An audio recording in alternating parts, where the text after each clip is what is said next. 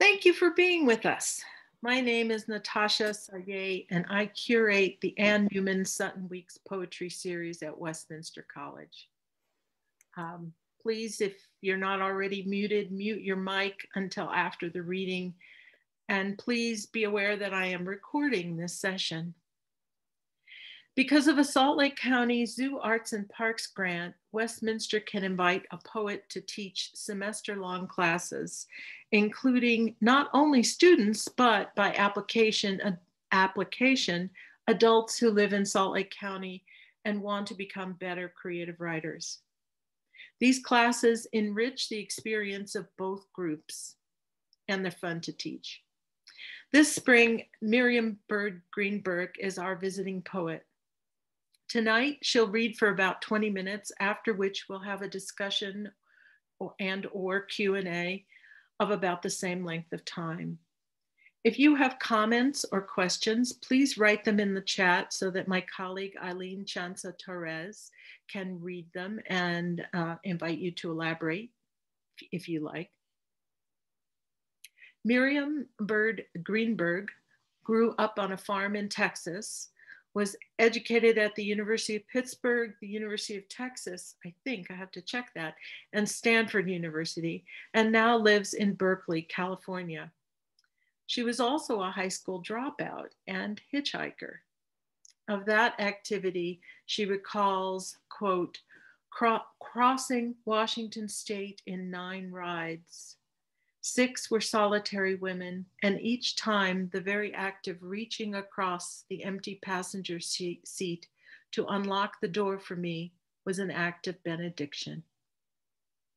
Miriam has taught at Cornell College in Iowa and at the National University of Singapore. Her fellowships include the National Endowment for the Arts and the Provincetown Fine Arts Work Center. She's currently at work on a hybrid genre manuscript about the economic migrants and asylum seekers of Hong Kong's Chungking mansions. Miriam's poetry combines precision, lexical, historical, economic, and scientific, with imagination in a rare way. Her first full length collection, In the Volcano's Mouth, is an unusually rangy book of poems poems that are so clear you can spend your energy admiring their twists and turns of phrase, their figurative language. For instance, in Spirit Level, she writes, and I cut that. I cut my coat quote. I am so sorry. She's also the author of two chapbooks and a letterpress artist book. Welcome, Miriam. We are so happy to have you reading tonight. Oh, thank you so much. I am so delighted to be here. Uh, I just finished teaching my poetry workshop and my intro classes tomorrow. And I really hope the students are having as much fun as I am because it's just an absolute delight. And uh, and a really, I, am just really enjoying myself. Um, so thank you so much for having me, I suppose is uh, the, the more formal more formally, I should be saying thank you so much for having me. It's an honor, but truly, it's really so much fun. Um, I'm not in Salt Lake City yet, so uh, when we, I hope that I will get to cross paths with many of you, and with luck, with luck soon. Um, I have a bunch of poems to read. Let me hit my timer so that I can keep track of keep track of the hours as they escape my grasp. Uh, so I'll be reading a few poems from In the Volcano's Mouth and then a few more poems from some of the inchoate and continually evolving manuscripts that I persist in calling finished the moment that I've accumulated 48 poems and then, you know, 48 pages and then spend another couple years or more working with the re- recombining the golems of. Uh, this is the opening poem in in the volcano's mouth called "Would You Believe," and it takes place three blocks from the Cypress Freeway in Oakland, which collapsed in the '89 Loma Prieta earthquake. There's a line in it by Susan Moon. We climbed from the mouth of a volcano all year, the year I moved west with my sweetheart to live three blocks from where the earth had broken open. Men in the Acorn projects remembered pulling strangers trapped in their cars to safety. Brother, one had told me he'd said, we can be afraid of each other again tomorrow. Twenty years passed. They'd made good on their promise. By then, I waited weekly in a food line alongside Chinese immigrant women who fished plastic bottles from the trash, eyes roving for a coin, a lost prize at the curb. Sometimes I'd lift my hand to the lip, look out over the volcano's rim, and there in a crevice, a scrap of paper, shining, someone's private prayer or prophecy. Everybody held out hope, tended their small hustle. Women knocked on the door selling broken heeled shoes, loquats picked in, a in an abandoned yard, would try the knob if no one was home. Could I make change for a 20? asked someone, unfolding one she'd manufactured from a dollar bill. Would you believe what lengths I went to to call myself happy then? Star of blood that blooms beneath a bruised fingernail, star of silence left high in the heart of a room after the doors slammed. A couple sits watching one another's reflections in a mirror. The two talk like this as evening falls around them, and neither has the heart to get up and turn on the light. My body's here, but no one's in it, writes a friend. For me, it's different. I'd spent my childhood in a house made of bees. On hot days, honey dripped through cracks in the ceiling. Me, I hummed, coiled tight. It hadn't been long since I'd slept in a creosote field while grainers crashed in the switchyard nearby. Actual tumbleweeds turned like prayer wheels crossing the tracks, and the constellations coyotes called to, streaked across the night, were more miraculous than freckles on the face of God. Around then, hitchhiking past Death Valley. A pair of truckers stopped for me. I used to haul cattle to LAX, one said, but I couldn't take looking into their mournful eyes anymore. I guess I wear my heart on my sleeve, he said. They were climbing through the Sierras to pick up a load of honey, telling jokes. They both had wild white beards. I hadn't yet come in my life to peer over the lip of a volcano. I wasn't yet made of cicadas, coils, and timble. Still, I carried a bit of string, a kipu I used for eavesdropping on the passage of time. If someone had put a knife in my hands, even then, I'd have taken it. I can hear two birds quarreling, tangled in midair. I'm afraid one day I'll find myself trash picking, tearing corners from a 20. I'm afraid I'm no longer lost as the runaway I met hopping a train out of Colton that summer who carried a small jar of her own baby teeth with her in her pack.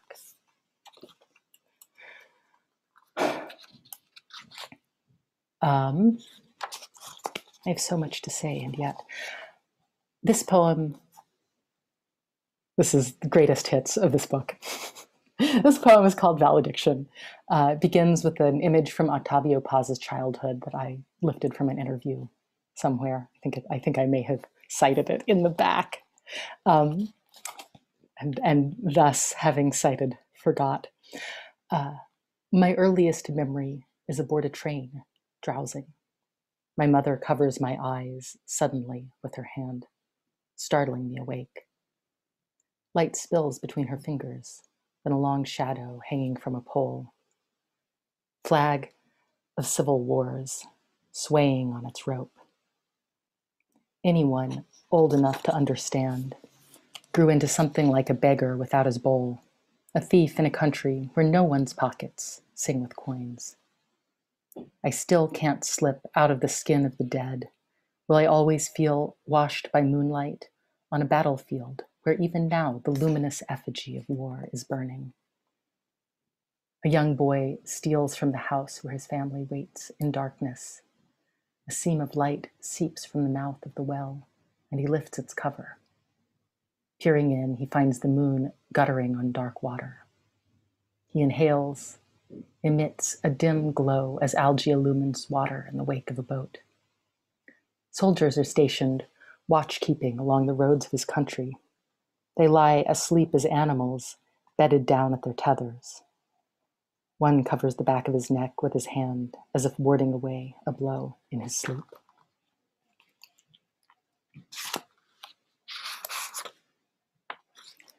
Oh, alas, I, all, for all my talk about Hong Kong and being currently at work on something, I, it seems like I'm reading a lot of poems from the rural, the ancestral rural, and will continue. Uh, a ghost country of the erotic imagination. Oh, I wrote this long series of poems uh, I, I this sort of miraculous coincidence of discovering Maurice Manning's first book and going to Mardi Gras all at once. I, I wrote all of these poems about two travelers in this kind of contorted or not contorted, mannered voice, and uh, and then some of them came through the fire and stuck around. This is one. A ghost country of the erotic imagination.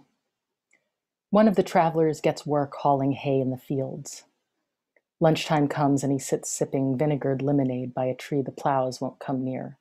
Rectangle of roses blooming over yonder, over yonder among the unharvested alfalfa, where a house's foundation once stood. Across the gravel road and the ryegrass, a chimney, no house, same story. He wants dusk time to come, sundown singing through the roadside's wild plum thicket till coyotes holler back in the ghost town of Macedonia. Long gone ghost First National Bank up where the combine sits, chewing hay. The grocery a few hundred feet farther for dry goods, beans in a barrel, a meat counter with a twitchy scale and the new bolts of calico every season. He wants to wreath his head in roses and dig open the shut up wellhead. He wants to run off into the thicket and sing possum lullabies. He's drowning in a ghost river, barefoot ghost children crouching in the dirt like guinea hens with pocketfuls of marbles, pennies, mouse tails they suck on at night in secret to keep from wetting the bed. This is a, uh, a helpful tip if you have that problem. The green elm switches their mothers make them cut when they're bad.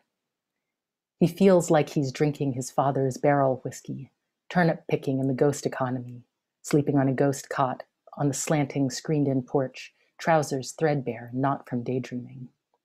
He wants love, to be not a ghost muttering sweet nothing even he can't hear, but a woman drinking creek water, catching minnows barehanded. He wants to be the algae licking her ankles, the little black tongue of a leech like a fat birthmark, the sweet hum of cicadas, shucking their shells in the cedar trees.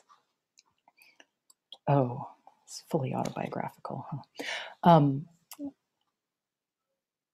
landless. The dead are coming back to life, faces painted red in the fashion of spirits, and they emerge from the woods walking purposefully towards the far edge of the city. Two whose palms are dyed yellow with black walnut husks have stopped to adjust the pails of porcupine oranges carried between them on a pole. Another passes with a handmade chair. Quail hang in a heavy strand down their backs like a braid, a currency no one has the nerve to refuse. And when they reach the cliffs, they swan dive as though water waits below, though no dark mouth is there to briefly swallow them. Like the dead who came before, flew from burning buildings or jetliners broken open in flight by a turbulent sky, they are undressed by the air. Their clothes flutter, like flags falling to the ground. In the vacant grasslands below, they squat, turning the earth with spades. They are digging night crawlers for a lark, where bone gatherers once wheeled barrows of femurs bleached and shining into pyramids. Will dig until they hit water glistening with fish. A man combs the high weight, a man combs the waist high grass.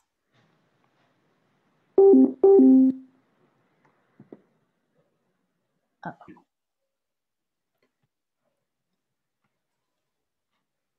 Uh, oh, maybe mute this person, David, if you don't mind. Um, a man combs the waist high grass for the lost belongings of his brethren that litter the field. He stoops to retrieve a leather hat concealed by weeds, makes his hand into a soft fist, then punches the shape a body makes gently back into its crushed crown. Oh, there was a brief communique. Um, this one is among the traveler's poems. In fact, a lot of these are sort of autobiographical and landscape. A spectacular relate let me start again, a spectacular reformation of their old ways. They've gone down to Honey Grove, are living in an abandoned house. One of them strung up a wire spliced into the electric line, and the lights flicker like heat lightning all night, like angels playing a trick. They have a few plates, drink from mason jar mugs. It's not for long, they know, but this is downright civilized. Breakfast at a table with bed sheets for tablecloth, a spectacular reformation of their old ways. On the falling in porch, with moth shadows swimming on their faces, they wonder aloud what happened to the old white man at the Salvation Army lunch up in Idaho who could speak to space aliens. He stayed up on Blackfoot land, but spent the week in town begging day old pastries from bakeries to dole out to the dentists who'd pro bonoed his gold teeth inlaid with rubies. All of this is 100% true, by the way. He told them, why didn't they settle down, get jobs at Walmart, start a family? Here's as nice a place as any, he said, handing them a sheaf of newspaper clippings, documents of his fame and fortune. They'd hung around the library all day, chasing off patrons with their unlaced shoes, souring the air, slept in a doorway, and dreamt of sparkling cities. The flickering heavens reeled one innumerable self after another past their closed eyes. But lo, they never learn. At dawn again, they were cadging coffee, then kicking moss on the shoulder of the highway with their, sh- with their thumbs out. But, oh, Spain, they had a book with pictures of Sevilla the Alhambra, the Canary Islands. It was stamped Pocatello Public Library. And soon they'd lay eyes on those sparkling shores, birds yellow as the sunlight, one of them said dreamily. But no, said the other, it was dogs, loping black dogs the Spaniards had meant, and they howled their consternation like men all night at the invaders. Oh, and then finally, among these, the poem After I Die. I am reborn as an animal that breaks into dental clinics long after sundown to suck laughing gas from its dark mask. I am reborn as an animal that keeps watch on the liquor store until the lights flick off or later. The animal that sings its ballads to the cattails, which is the same animal whose hands close over the shape of baby birds in low nests. This is an animal that carries a gold rimmed teacup and kisses the ravenous night with all its teeth before sinking them into the leg of its benefactor. Among the cemetery with its lonesome chill, the animal made of shadow has laid down with the dead. This animal picks names from the phone book and sleeps very lightly beneath their window, or wakes late for a cigarette, and its smoke drifts into their dreams. Once there was an animal just like this, who was left newly born in a box on the steps of a temple in an old country, and the priest blessed it in a bath of milk and made it jump through the fire. The animal came to glitter like pyrite the animal shivered like gold flecking the stones of a chilly river. The animal was caused by a minor devil to stumble, and for that it was cast off like the disheveled skin of a spirit. In slumber, the animal set out for its fortune, and in slumber came to a farm where animals were slaughtered. Needing food, he asked for a job. To pull a blade through the feathers of an animal, to pour out its blood as if from the mouth of a bottle, and blanch it, and put handfuls of its feathers into a bag coarsely, like paper money of no remaining value. then cut open its small chest where the organs glisten like jewels in their shawl of blood. The animal may go on doing this forever. It may have to.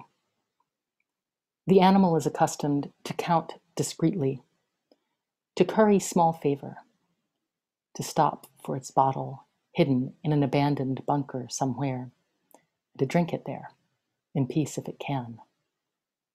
The animal's soul is contained in a separate vessel. Oh, so um,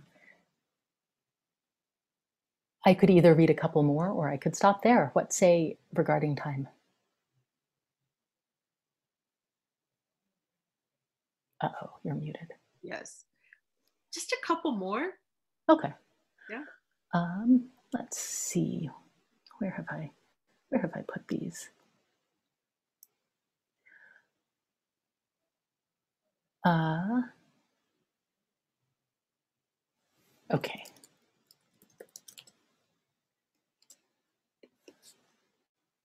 So here's one.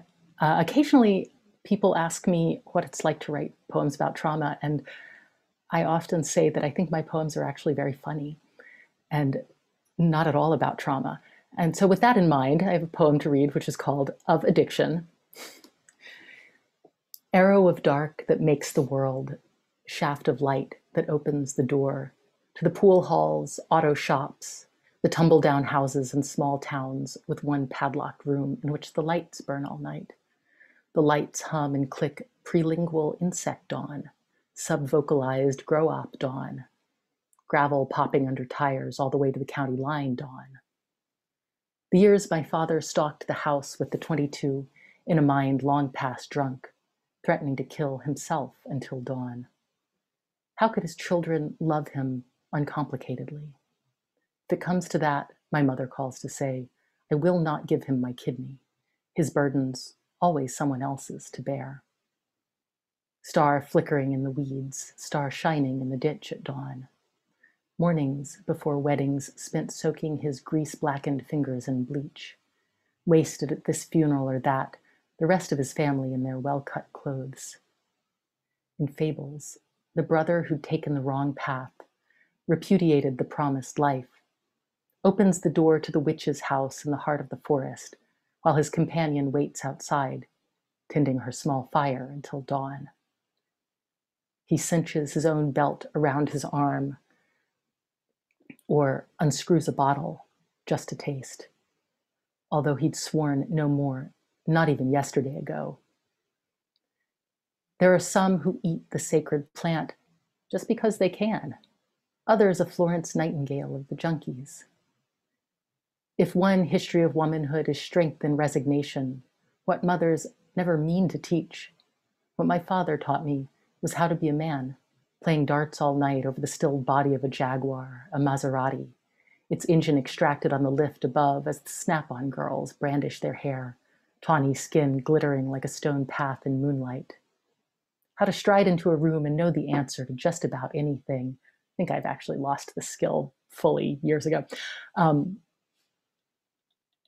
charismatic and tender enough to have talked his way out of jail twice. For a while, he carried a hidden Camry into, sorry, for a while he carried a hidden camera into factories behind the Iron Curtain, had steak every night and a lover in Romania who sent Christmas cards to his mother. He wore a knife in his boot, grew up in Laredo, or told these things to men in pulquerias. Drunk on mezcal in DF, or Schlitz at home, or moonshine cooked half a mile up by a man who lived on our road, which the county hadn't thought to name, and rode a fence jumping mule that stood in the ditch eating roses most days, up to its night eyes in dusty dewberry brambles. The roadsides shone with empties pitched from an idling pickup for the old men who trawled these roads to collect, as desperate people do, anywhere, in Tulsa, the Tenderloin, the Bronx, where he pressed his dungarees with a knife edge crease every dawn before prep school. Sounds impossible that I could love him uncomplicatedly.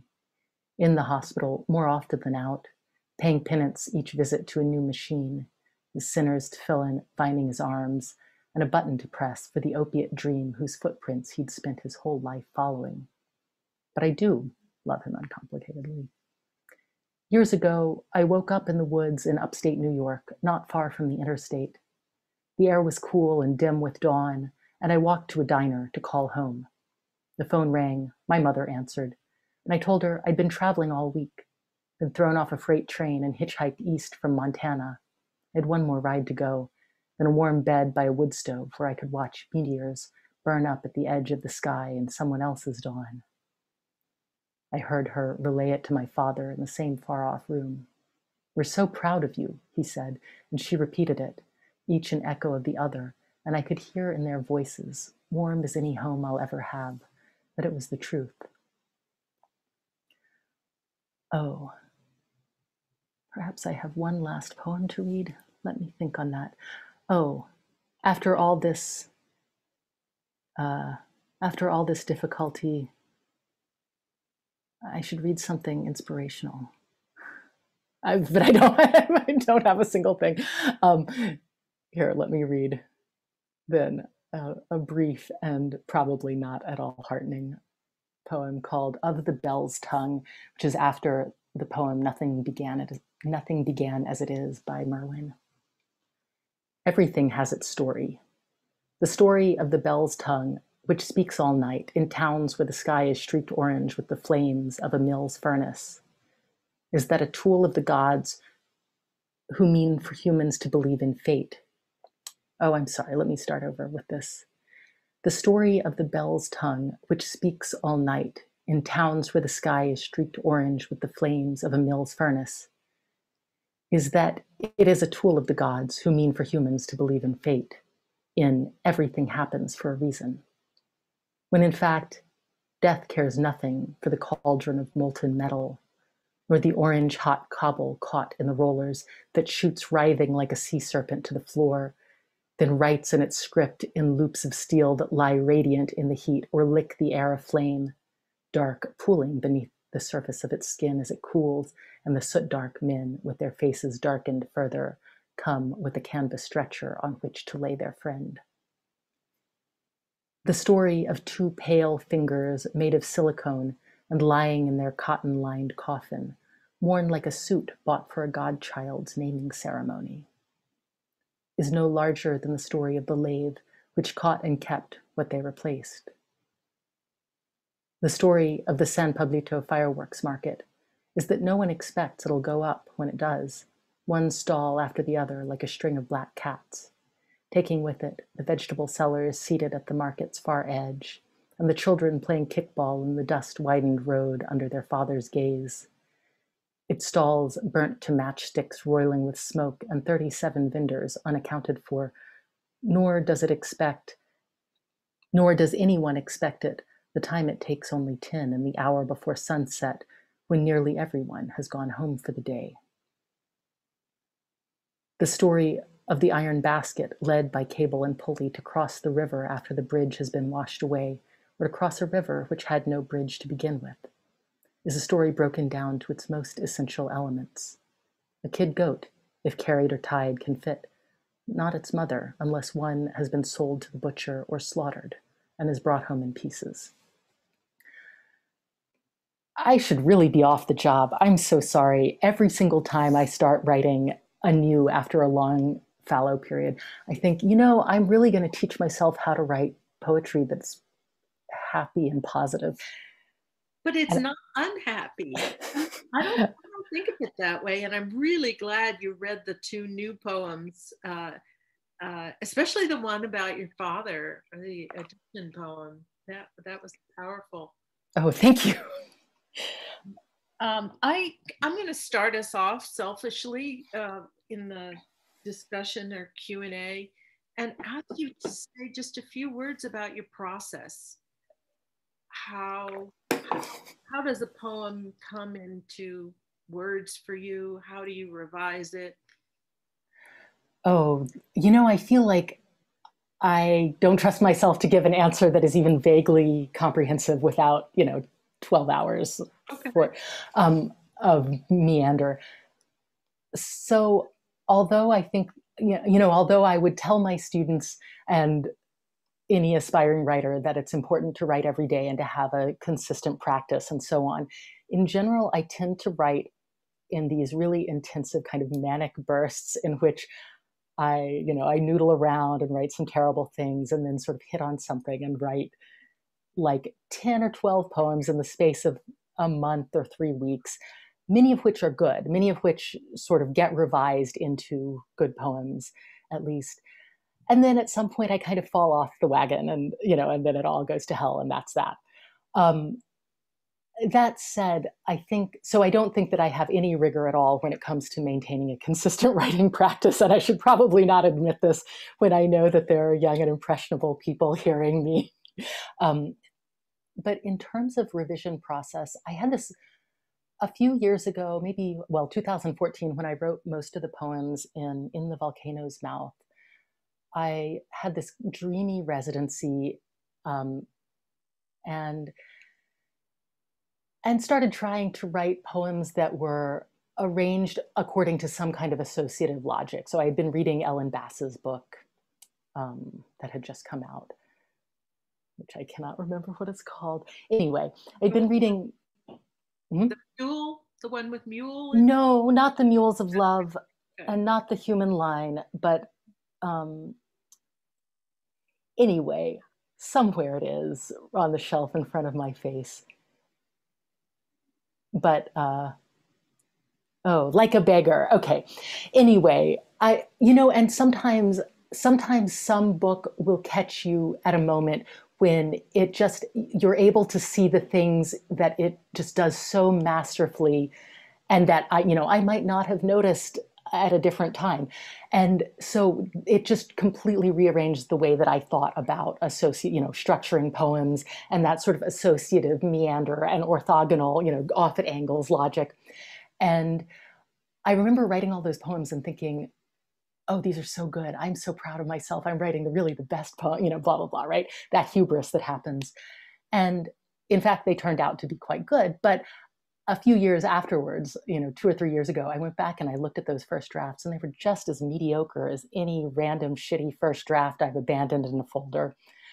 Um, and I, but I think that in terms of revision process, you know, one of the things that I'm just sort of relentless about is just syntactical experimentation, like taking, you know, saving a million drafts so that I can screw things up over and over and over again, and like taking a line and trying to figure out how it can do something on the way to you know in there that there should be no direct statement because the line should be implying or inferring or mentioning that direct statement on the way to its true purpose which is at least getting to the next line. Uh-huh. anyway.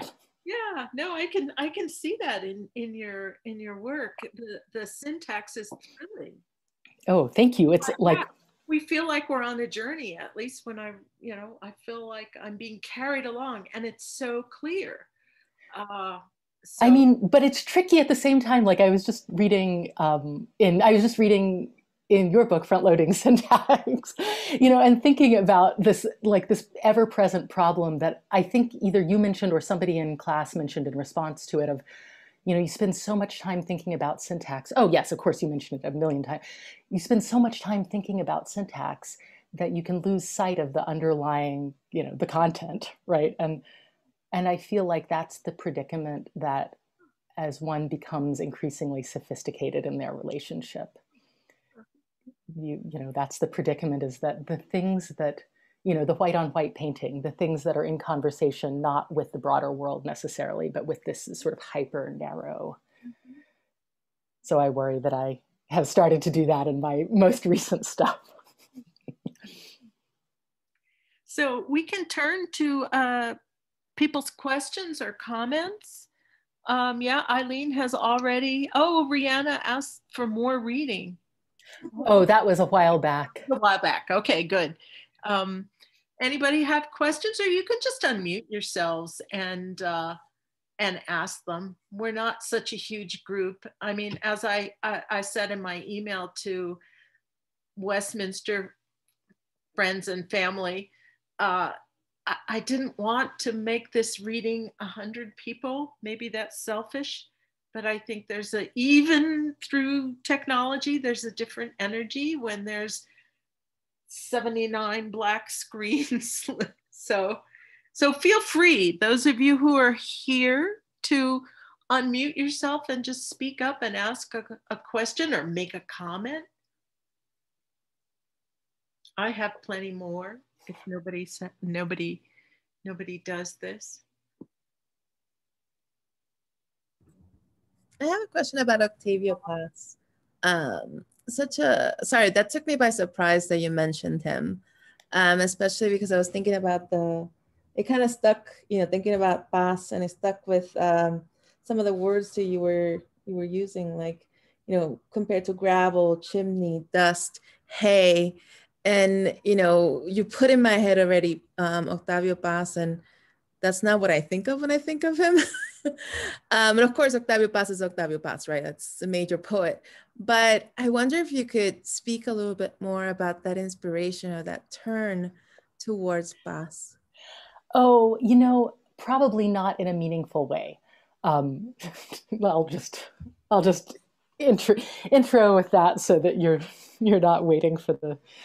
Um, so, I think that you know, I think in general, I am just kind of constantly a scavenger of possibility, and um, and had been reading an interview with him, and that so he had written about you know this this that I can't remember precisely right now, but he had written about traveling by train with his mother as a child, and her putting his hand her hand over his eyes so that he wouldn't see uh, you know people hung from ropes from the I think from trees or from poles outside along the tracks um, during the Civil War. And you know, and I, uh, it was a it was a really striking image to me, but I don't think that I've earned my use of it. If that's what you're asking. no, no, no, no, I was just curious about that. But we do have a question from Paul. Um, the dead the dead phrase in two poems how do you take into account the potential association to Joyce's short story of this name? Oh, wait, which, what are, say more. Paul, do you want to say a little more? You can unmute yourself, Paul. So in, in two of the poems that you uh, uh, recited tonight, uh, you had the phrase the dead.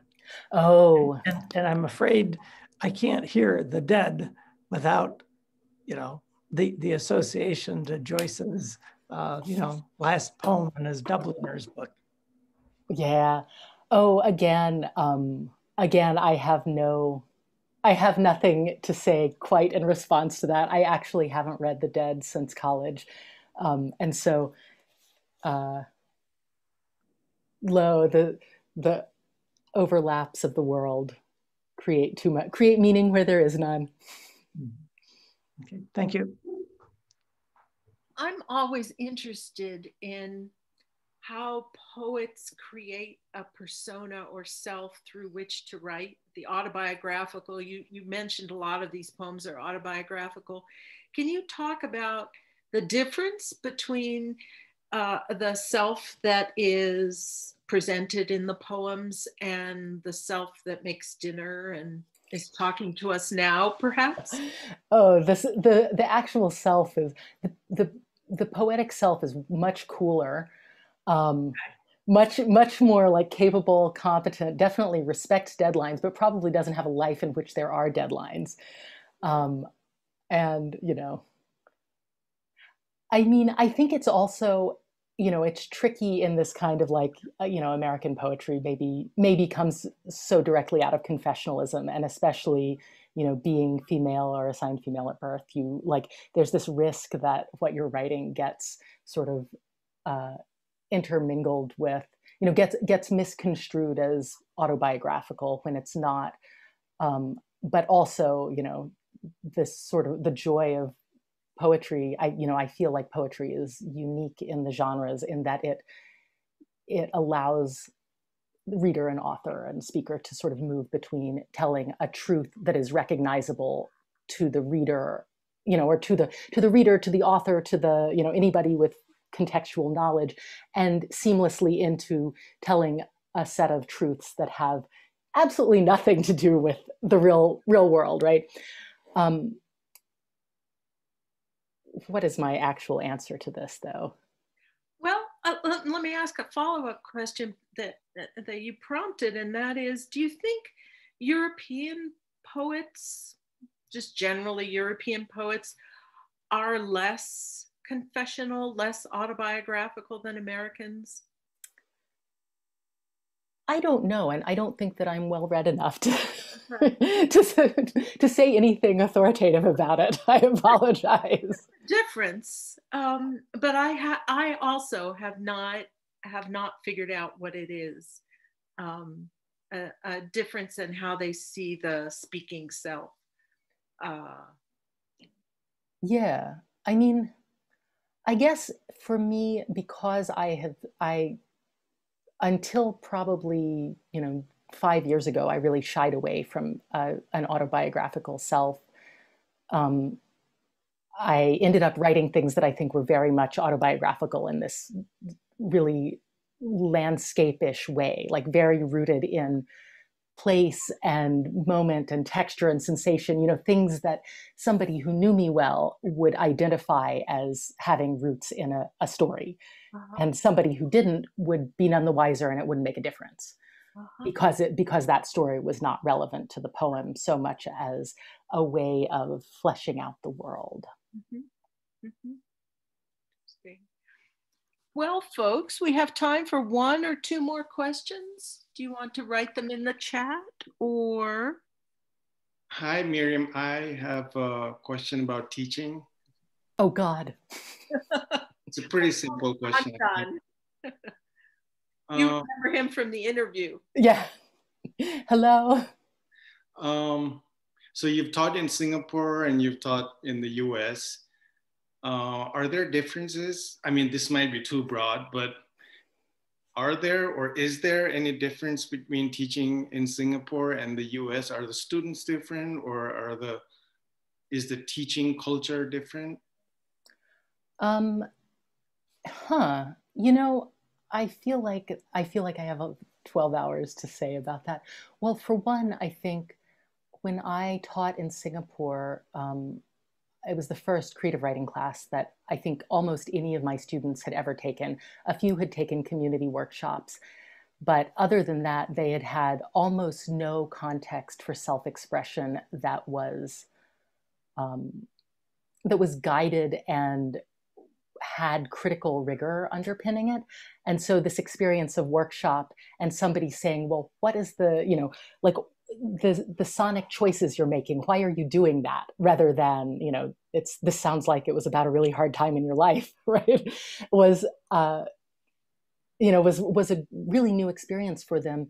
And i think a lot of that comes from you know singapore is 54 years old now and and i have never been in a place where the making of the national narrative was so close to the surface. You know i think we see this everywhere all around us. I'm sure everybody everywhere you know sees this if they're looking for it but especially because it was i think i think i was there on the right after the 50th anniversary um, of of becoming a nation state. And so like the newspaper would have these articles about the national narrative. It was just so strange you know and so and part of that national narrative is um, that Lee Kuan Yew, the prime minister, the sort of founder of the modern nation state of Singapore, talked about the arts as a luxury we cannot afford. And I think that that inclination really underpins how Singaporeans think about and value the arts. Um, and, you know, that this is a, on a huge tangent already, you know, and at the same time, because so much arts fun- funding is channeled through the government, it also means that it's really hard for people to write weird shit, you know, because they because this sense of the surveillance culture that's so ever present in Singapore is also really kind of deeply shapes what are how what types of arts and what types of presentations are you know elevated and what are not. Um, and so it makes it really hard for people to speak out about things or to write you know write narratives that i think here would nobody would think twice about uh, I don't think that answered your question. I'm sure I have an answer to circle back around to sometime or another. no, you did. That was very insightful. Um, I, on my most recent flight back from Nepal, where my parents live and where I grew up, I had a layover in Singapore and it was completely accidental because there was a flight delay and they put me up in a hotel and very fancy for two, three days. I really enjoyed it. On the surface, uh, it's very superficial, but it felt like a very closed society. And so I was wondering how that would translate into a workshop. Yeah. Yeah. But I mean, I, you answered I, your question, but yeah. I do think, you know, I think that the students in the workshop were, you know, really excited to push themselves and trying and to try new things. And because of my particular, you know, like uh, training or what you know, my reading or whatever, we read a lot of we read almost entirely American poetry, and on one hand, you know, the other thing I'll say is that in Singapore, if you are a serious artist and you're 22 or 23 and you want to publish a book, you can publish a book at that age, you know, or 24, 25, you know. And so by the time you're like my age, you might have like seven or eight books and be like, a, you know, internationally known in the region, right? And yet, you know, and yet I think I think that's really fantastic. But it also, I think it also is kind of has this complicated other side in that there's not quite as much rigor because there's this sense that like the literary world and the arts are not important so it's fine to you know might as well you might as well publish when you're 23 and, and you've arrived at a perfect manuscript for the first moment. Well, I have a question. Oh, yeah, go ahead. Can you hear me?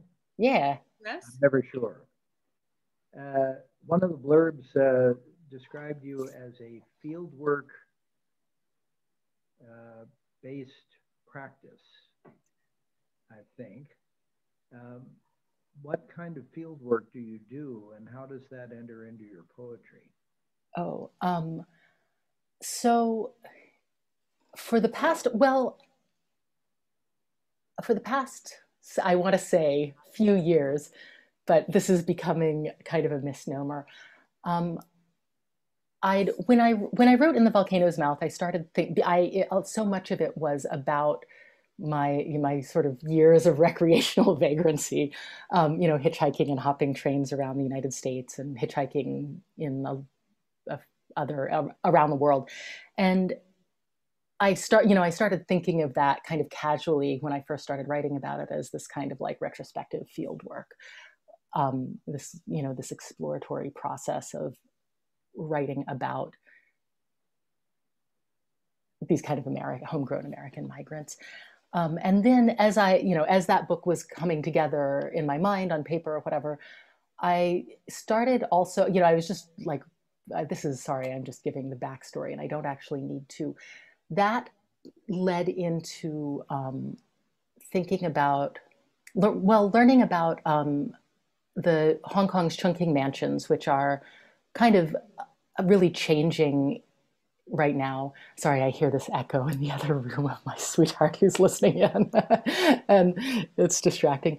Um, anyway, so so I started I started researching the Chungking mansions, which in those days, in those days, merely like almost a decade ago, were this kind of intercultural nexus of the low end global economy, a place where people from all over the developing world uh, you know, developing countries of Africa and Asia and the Middle East would come often primarily to do business with the um, with the manufacturing zones of southern China. Um, and I started thinking, oh, this is so cool. You know, I'm so interested in. You know, I start. I started inchoately thinking, this is so interesting, and I would love to spend some time working. You know, working on this and in in this context and you know and so was ended up going there and working with a lot of people, doing interviews with economic migrants and asylum seekers, um, and getting to know a lot of people. And on you know, occasional Friday nights, I still join um, a class of asylum seekers that's run by an anthropology professor at the Chinese University of Hong Kong. Uh, although we've all kind of dispersed, a lot of people have been resettled. A lot see the writing on the wall with Hong Kong as China's kind of draconian um, new laws are handed down that mean both that they will have so much less ability to speak out as refugees advocating for themselves, but also um, that you know they're just not going to get refugee status. Like they're just in terms of their chances in Hong Kong to be resettled somewhere else. Hong Kong doesn't take refugees, they just resettle. But even then, their chances, they're just totally fucked. And so, to, you know, and so, um, anyway, so I sit in on this class in which we all kind of, it's, it's ostensibly an English class. We all read the newspaper and debate, argue about politics. Um, and it's, it's a lot of fun. And so I've been working on a book of poems drawn from the past five years of a lot of these friendships and and sort of more formalized interviews and field work. Um, and yet, it's also one of these projects that I feel the more I have, the more I have thought about it and worked on it, the the less confident in it I feel because it just demands so much. It demands so much more than poetry alone can offer, and it also just demands both the sort of ethical rigor of writing on behalf of, writing in the voice of these people who, you know, who are collaborators to some degree in in any moment that their experiences are voiced.